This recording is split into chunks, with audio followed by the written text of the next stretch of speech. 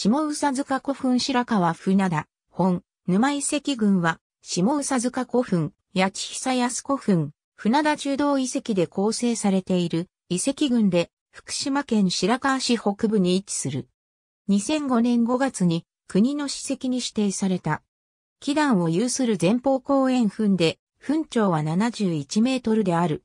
安山岩で構築された横穴式石室は、奥壁から入り口まで長さ約7メートルを測る。円筒埴輪や継承埴輪が出土しているが、配置位置までは不明である。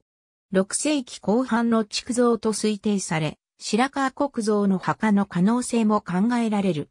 下宇佐塚古墳の北西、標高315メートルほどの貸し段球場に位置している。一辺約70メートルの規模を持つ豪族巨漢の跡で、炸裂や縦穴住居の跡が見つかっている。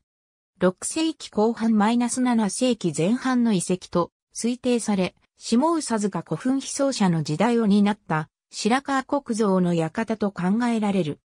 八千久安古墳は上記に遺跡から約 1.8km 北西の丘陵南斜面に立地し、北、西、東の三方が高く、南が低い山寄せと呼称される立地上の特質を持つ古墳である。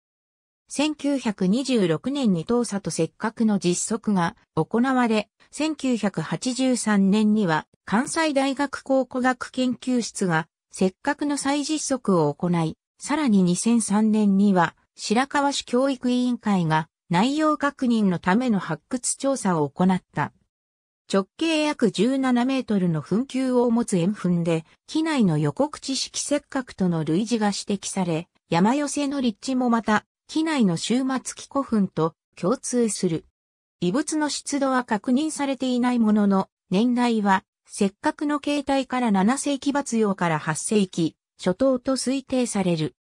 下宇佐塚古墳の東側に位置する刈宿集落は寺院跡が見つかっており、北東約 2km には律令時代の役所跡である関和久灌漑石がある。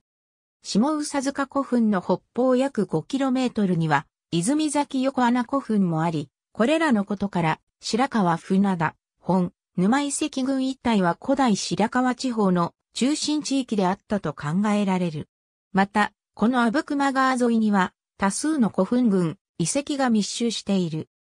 この地域の古墳に限ってみれば、本校の遺跡以外にも、泉崎村の原山一号墳は5世紀末の全長20メートルの前方公園墳であることが確認されている。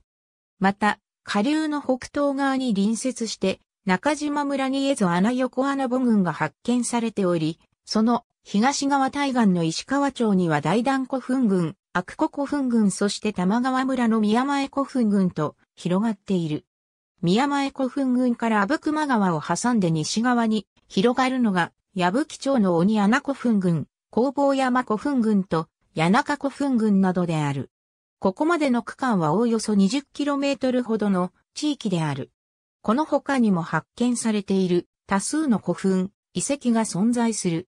この地域に古墳、遺跡が密集する理由として考察されているのは、これらの地域が古代白川地方の重要な地域であり、有力豪族が多数存在した証であると思われる。ありがとうございます。